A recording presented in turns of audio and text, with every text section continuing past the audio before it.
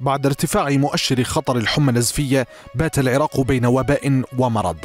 منتهيا من كورونا ببداية التعافي ومبتدئا بحمى الكونغو المنتشرة في محافظات عدة في البلاد. حالة وفاة جديدة في كركوك عقبها تسجيل إصابات في ذي قار وكربلاء وأربيل.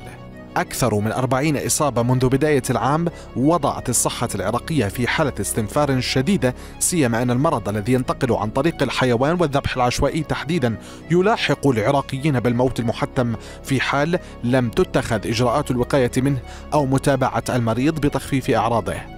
الحمى النزفية لا علاج لها لكنها لم تصل إلى درجة وباء فيما تعد الأكثر خطرا على العراقيين بعد أن أصبحت قائمة المحافظات أكثر عددا في الأيام الأخيرة.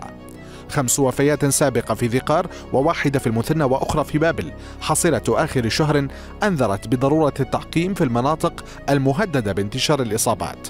في كركوك منع الذبح العشوائي وانتشرت حملات التعقيم على مناطق الثروة الحيوانية. المقلق في الأمر أن معدل الانتشار هذا العام أعلى من العام الماضي.